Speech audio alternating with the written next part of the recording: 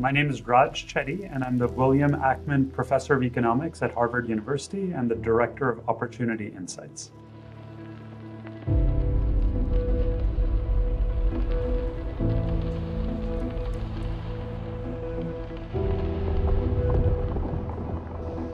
What sparks uh, my passion and my research, which is focused on increasing equality of opportunity, giving kids of all backgrounds better chances of rising up, is my own personal experience. So, my parents came to the United States, like many immigrants, in search of the American dream, search of better opportunities for themselves and their kids.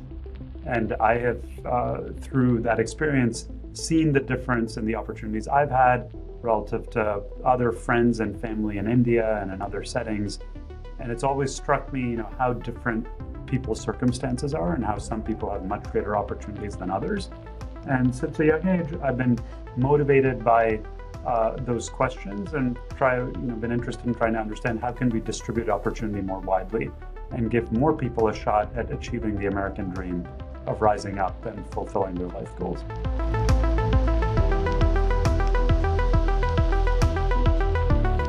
The thing I've been most heartened by in our research, we've released a number of studies on the science of economic opportunity, trying to understand how children's chances of rising up in the income distribution vary based on the school they attend or the neighborhood in which they grow up or who they're exposed to or which college they attend. And we've written various papers that using big data give us a very clear sense of how that all works. But what's most exciting is we've seen people making changes in policy at a national level, at a local level, across nonprofits in the United States and beyond, motivated by these findings. Helping, for instance, uh, make changes in affordable housing policies that enable more kids to grow up in high opportunity areas where, where we see through our research they're more likely to thrive years from now. Or changing the way that colleges admit students or how they're financed or changing the structure of schools and uh, education policies. So there are numerous different concrete areas of impact on policy that then impact thousands of people's lives. And to me, that's what's most exciting about uh, working in the social sciences, where you can really see those tangible impacts uh, at the end of the day.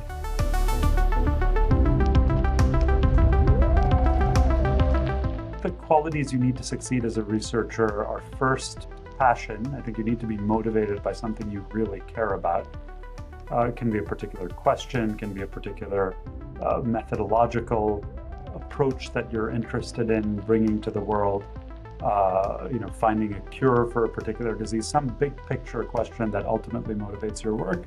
And then I think the key ingredients are tenacity and creativity. You know, being willing to keep at it in the face of many, many obstacles. If it was easy to figure out the answer, we would have already figured out the answer. So, you know, by definition, we're working on hard questions at the frontier of research. Uh, that's what makes it challenging and that's what makes it exciting. And I think then bringing creativity to bear, uh, coming at questions from new angles, acquiring the requisite technical skills needed to solve these problems, combining all of those in- ingredients leads to great research.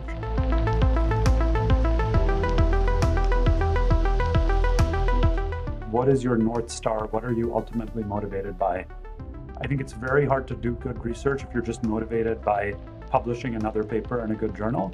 I think if you're motivated by an important question that you care about, then you will naturally end up writing good papers that get published in good journals and all the career related things will follow.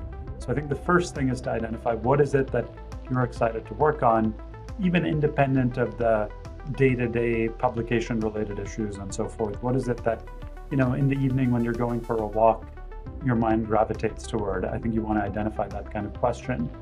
And once you do that, thinking systematically about, you know, how can I construct an agenda towards answering that question? You're not going to find the cure for cancer in, you know, the next paper, but uh, you can have a set of building blocks that can make progress toward that question. And I think working systematically, recognizing that there may be obstacles along the way, uh, can be a useful path to a productive and rewarding career.